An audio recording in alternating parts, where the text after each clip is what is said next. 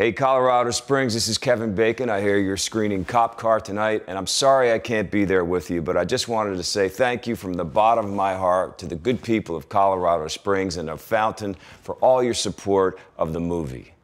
Can't wait to come back and see you soon. Enjoy Cop Car.